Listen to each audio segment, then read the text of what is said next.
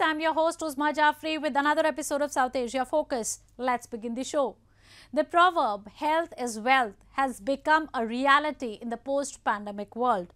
The grim reality is that India faced during COVID's second wave in 2021 was a wake up call to many in India's power corridors. A resolve was taken that India would never again face such shortages and work began on war footing to get the health of the country back on track. Let's see how India's remarkable ongoing development in the healthcare sector are reaping dividends.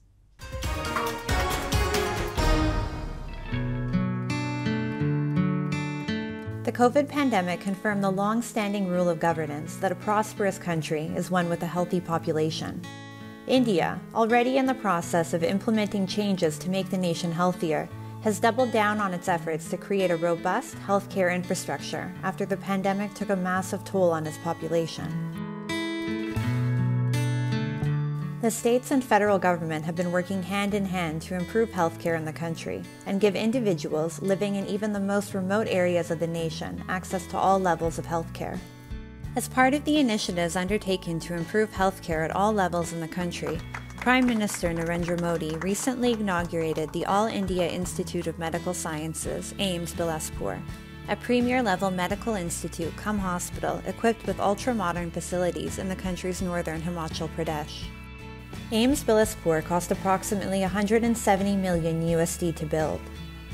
The hospital is equipped with 18 specialty and 17 super specialty departments, 18 modular operating rooms, 750 beds, and 64 ICU beds, which will greatly increase the quality of medical care in the area. बीते आठ वर्षों में हिमाचल की विकास गाथा को नए आयाम पर पहुंचाया बिलासपुर एम्स एक और बदलाव का प्रतीक भी है और एम्स के अंदर भी ये ग्रीन के नाम से जाना जाएगा पूरी तरह पर्यावरण प्रेमी एम्स प्रकृति प्रेमी एम्स Under the Pradhan Mantri Swasthya Suraksha Yojana scheme, many new AIIMS facilities are being built. So far, the establishment of 23 new AIIMS have been approved under the scheme. Of the 23, the seven AIIMS in Bhopal, Bhubaneswar, Jodhpur, Patna, Raipur, Rishikesh, and Bilaspur are fully operational. OPD facilities and MBBS classes have started in another seven, while MBBS classes have started in another five more institutes. The dynamics of the Indian healthcare industry are significantly changing as a result of the development of healthcare systems in the most isolated regions of the nation. India endeavors to improve all aspects of its healthcare system, from primary healthcare centers to hospitals providing tertiary treatment. The country allocated 11.28 billion USD to the Ministry of Health and Family Welfare for the current fiscal year. It is also planning to introduce a credit incentive program worth 6.8 billion USD to boost the country's healthcare infrastructure. India has all the necessary requirements for this industry to flourish exponentially, including a sizable population, a strong pharmacy, and well-developed medical supply networks. Telemedicine and remote healthcare will also bridge the gap in health access between urban and rural India. For example, the National Health Mission is a program wherein the government aims to provide universal access to equitable, affordable, and quality healthcare services that are accountable and responsive to people's needs. Today, the availability of services following the creation of the National Health Mission and the creation of policies which detailed the involvement of both the public and the private sector and the role that they play in a congruent manner to benefit the population of India has been heartening. India's consistent efforts to provide its citizens with quality healthcare have already begun to pay off.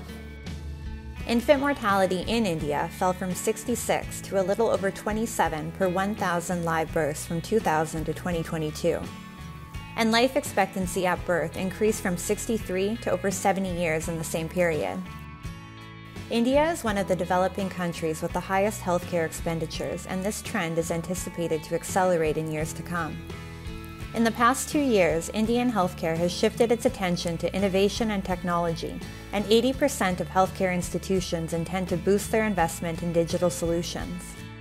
The Indian healthcare system is on course to rank among the top in the world, further enhancing Brand India's reputation as a global leader. Moving on, everyone can see the effects of climate change. Numerous areas of Nepal and India's northern Uttar Pradesh have been swamped by untimely rains, claiming thousands of lives.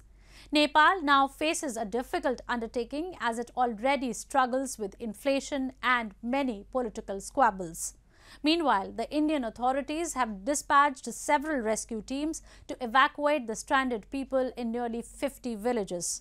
Several areas in South Asia have been massively hit by torrential rains, with Pakistan bearing the most of the brunt. Floods and landslides in Nepal's Bardia have claimed over three dozen lives while over a dozen people remain missing. The government has deployed rescue teams, including the army and the police, to search and rescue the victims. Flash floods and landslides are a common occurrence in the mountainous terrain of the Himalayan nation, especially during the annual monsoon rains between June and September. However, untimely October rains brought an unprecedented hazard to the residents of Nepal, hundreds of whom became homeless with no sanctuary to seek food and shelter. खाना पनि खाएको छैन बस्ने ठाउँ पनि छोरा बुहारी स्वास्नी कहाँ छन् कहाँ छन् म विपत्ता छौँ हिजोदेखि बारिस आएर खानाको पनि पत्ता छैन बस्नको पनि पत्ता छैन के गर्ने हामी Meanwhile, several parts of the India's most populous Uttar Pradesh state were also inundated by flooding which killed around 20 people last week. Heavy rain during the extended monsoon season caused rivers to overflow and engulf local villages. Hundreds of them were saved after the timely dispatch of rescue teams. However, hundreds of others were still marooned as incessant rains gave little time to react to the situation. हमारे ऐसे 48 गांव हैं जो maroon हो चुके हैं तो इसलिए हमने एनडीआरएफ की टीमें बुलवाई थी यहाँ पर दो एनडीआरएफ की टीम दो एसडीआरएफ की टीम और तीन फ्लड पीएससी की platoon The rainy season usually ends in northwest India in mid September and clears by mid October. Experts believe the situation is likely to trigger food inflation as heavy rainfall has damaged key summer zone crops such as rice, soybean, cotton pulses, and vegetable just before harvesting. They also say higher food prices could prompt New Delhi to slap additional restrictions on exports of food commodities such as rice, wheat, and sugar, and potentially force the Reserve Bank of India to raise interest rates again. Meanwhile, hundreds of thousands of flood displaced people in Pakistan have for weeks been living either in open or makeshift tents set up along roads or on dry patches of land. Food and water are in short supply at most of them. Devastating floods in recent months have engulfed large swaths of the country and killed nearly 1,600 people, displacing millions of people and causing damage estimated at 30 billion US dollars. Moving on. The Hindu community is the second largest religious group in Muslim dominated Bangladesh constituting approximately 7.95% of the total population. In recent years, the minority Hindus have been facing persecution at the hands of hardline Islamists in the country, despite assurances of safety and protection from Bangladesh's Prime Minister Sheikh Hasina. Let's take a closer look at how and why attacks on minorities in Bangladesh are being committed.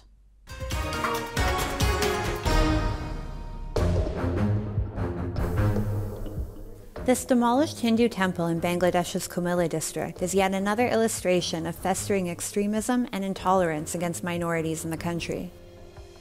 Two Muslim teenagers were apprehended by locals for defiling the idol of the Hindu goddess Kali. Police suspect that both the teenagers committed this act of vandalism at the urging of radical Islamic extremist groups in the region. Another ancient Kali temple was targeted a day after the attack in the Comilla district. Multiple unidentified assailants, under the cover of night, broke into a Kali temple in the Janaida district. The idol of Kali was found broken into several pieces. Kali মন্দির যেটি রাতের অন্ধকারে কে বা কারা এটিকে ভাঙচুর করে তার মাথা দূর রাস্তায় নিয়ে গিয়ে অন্তত মন্দির থেকে দুশো গজ দূরে রাস্তার উপরে রাখছে যেটা আমরা যারা সনাতন ধর্মাবলম্বী আছে তাদের হৃদয়কে অত্যন্ত ব্যথিত করেছে। বাংলাদেশ প্রধানমন্ত্রীর কাছেও আমাদের বিনীত আবেদন এই ন্যাক্কারজনক ঘটনার সুষ্ঠু তদন্ত সাপেক্ষে এবং বিচার বিভাগীয় একটা বিচার করার জন্য আমি করুণ আকুতি জানাচ্ছি। These two incidents are the latest in a string of attacks on the minority Hindu community and their places of worship, last year after a fake news story of the desecration of the Islamic holy book, the Quran, in a Hindu puja pandal spread in the Comilla district. More than 100 Hindu temples, festival locations, businesses, and houses were reportedly attacked after the incident, and there were seven fatalities. Fake news traveled fast, and the after effects were all too real for these minorities in Bangladesh. The Hindu community has not been the only minority group in the country to be under threat either. A Buddhist monastery in the southwest part of the nation was also burned down. Furthermore, in October last year, a violent Muslim mob also attacked an International Society for Krishna Consciousness, ISKCON temple, in the country's Noakhali region. Riches were stolen and the temple was desecrated. In March this year, another ISKCON affiliated Radhakanta Jiu temple was also vandalized by a mob.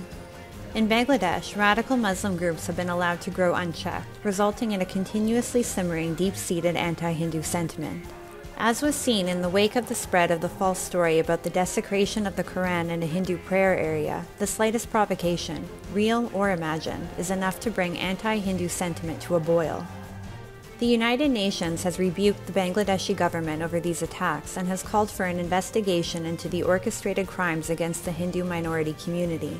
Amnesty International, also noting the pattern of attacks on Hindus, condemned the government, saying that the state had failed in its duty to protect minorities. The world should take account of these atrocities which are being carried out and try to crack down on these kinds of activities in order that the peaceful and the friendly people of Bangladesh could lead a life with dignity, including the minorities.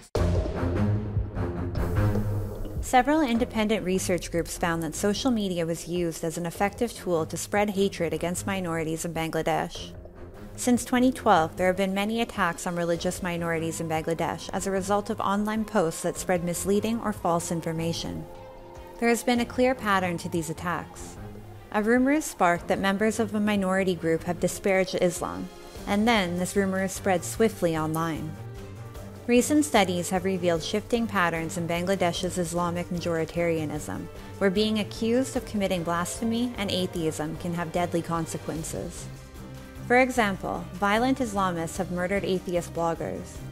And a number of so called blasphemous authors, cartoonists, publishers, and bloggers have been forced to reside in exile. According to prominent representatives of many minority communities, the attacks on their homes and places of worship by Islamic extremists also have a financial incentive, with attempts to rob the minority groups of their land and possessions. While the Bangladeshi government claims that minorities are protected, little has been done to actually prevent these attacks against Hindus and other religious minorities from happening time and time again. Time now for Asia This Week, the stories from across the continent.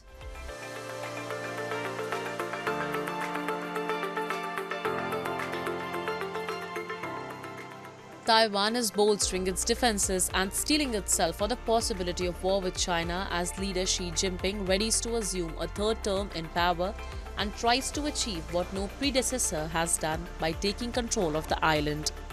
Xi has made no secret of his desire to make democratically ruled Taiwan a part of the People's Republic of China peacefully if possible but with force if needed, cementing his legacy in the history books.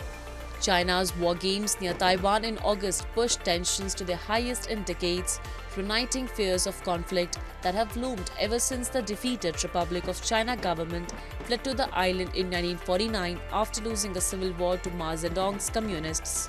While Taiwan has lived with the threat of Chinese invasion for more than seven decades and there is no sign of public panic at Beijing's bellicosity, government officials are alarmed and offer a stark analysis in private.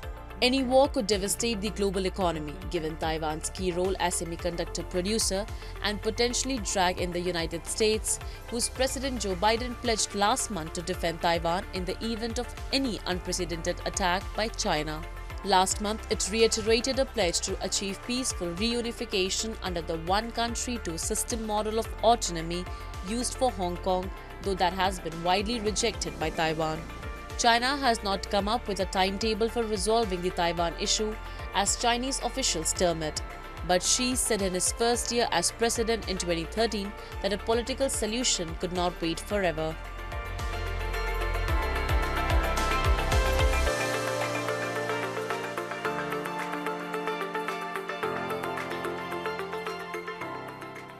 Japanese firm Shimizu Corporation introduced a jackup vessel named Blue Wind. It builds big windmills that produce electricity. The total cost of shipbuilding is $347 million. To celebrate the completion of its manufacturing and pray for its safety, a Japanese ceremony named Shinto was organized by the firm. At the end of the ceremony, a holy sacrament was also distributed to all the people. This vessel is a 500 meter wide, 142 meter long and has capacity of 28,000 tons. It is capable of carrying both large and heavy cargo. It prepares a big crane to guarantee the building of a big windmill regardless of the climate or the marine conditions. Additionally, it sails by itself without the help of a towing boat. スムーズにスピーディーに移動できるということで、えこれもかなりあの当社の 切符船のメリットになっておりまして、これによって大幅な風車組み立ての工期短縮が可能になると事業のやはり優位性というところに、一役買えるんではないかという形で考えております。This jackup vessel has a huge challenge of building a big windmill at the coast of Toyama Prefecture in Japan by March 2023. Next year, in December 2023, it will construct 14 biggest windmills at Ishikawa Bay, Hokkaido. It has a generating capacity of 112 megawatts. Shimizu Corporation investigated most convenient jackup vessel to build, big windmill, cost performance, and short term overcoming bad condition on the sea. All these efforts are being made in order to contribute towards environmental conservation, and this vessel is capable of working not only in Japan but all over Asia and the world.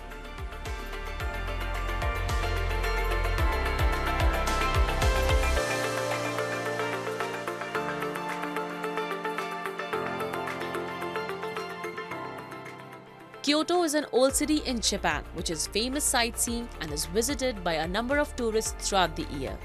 However, the tourist footfall in the city shrunk due to the coronavirus pandemic. However, after month-long curbs, the restriction for foreign tourists have been eased now.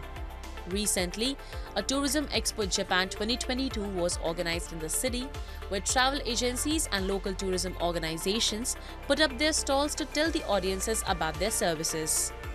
The travel and tourism industries of Japan are all set for a revival.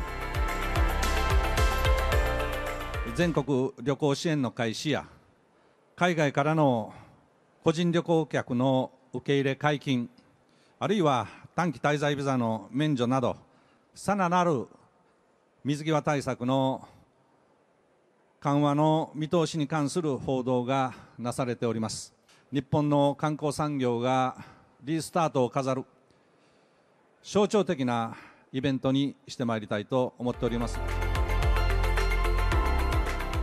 airline, transportation company, travel agency, hotel company, and foreign tourist office are participating to show off their attractions. The travel industry has high expectations for post-corona era. JTB is the biggest travel agency with a 110 years history and has contributed to the Japanese travel industry. It has introduced the charm of Japanese tourism to the world. The global travel industry is looking forward to a business revival. The trip with the new idea is expected to regain foreign tourists by spreading the hidden charm of Japan. Different airlines, transportation firms, travel agencies, and hotels participated in the exhibition to convey the stories of their services. The global tourism industry is reviving slowly and steadily after the pandemic crunch.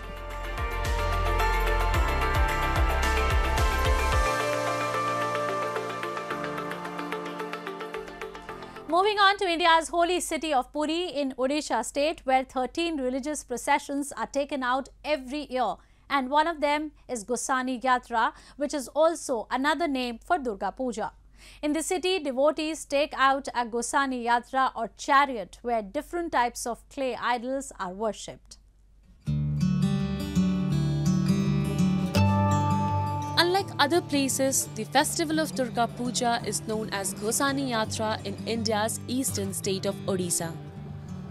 In this festival of Puri, several big clay idols of Mahishamardini Durga are worshipped every year in the Ashwin month of Hindu almanac, which usually occurs in the Gregorian month of October.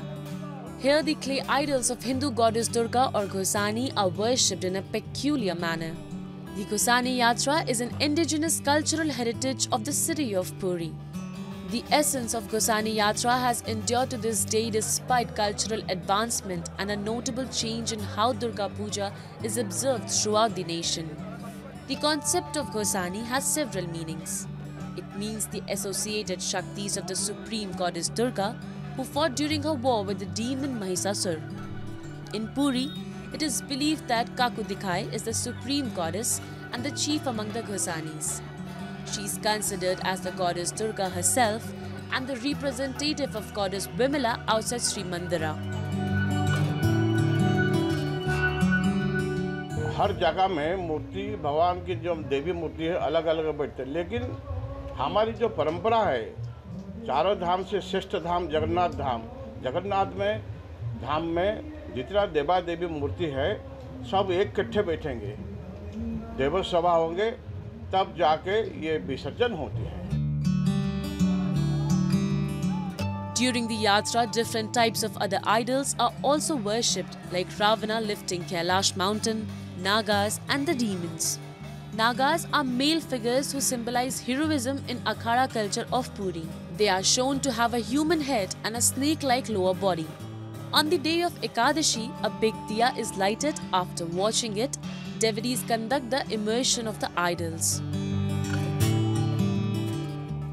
दो साल के बाद पवित्र गोसाणी यात्रा हो रहा है तो जितना शाही ये में दुर्गा पूजा का मेड़ रहता है, वो मंदिर के सामने लाते हैं और देव सभा होता है उसके बाद जो आर्टिफिशियल पौन बनाया गया है मंगला घाट में, वो एक एक एक करके विसर्जन किया जाता है इसीलिए हमारा जो पुलिस अरेंजमेंट है और जो आर्टिफिशियल पौन वो सब कुछ पहले से इंतज़ाम किया हुआ है और सब कुछ सुरखुर से हो रहा है The local people sometimes say that Ghosani is a wicked female spirit. Bhutnath is another name of Lord Shiva, who is the lord of spirit, evil powers, and ghosts. So it is believed that these Ghosanis are the Shaktis of Lord Shiva. The crown, ornaments, jewelry, and the halo are made of sola and zari, which adds up to the beauty of these images. Immersed in the festive fervor, tourists could enjoy their visit to Puri throughout the year. It is festivals like these which showcase the magnificent culture and traditions in India. Hindu goddesses are worshipped in different manifestations in different parts of the country. With that, we come to the end of this week's episode. See you next week. Goodbye and take care.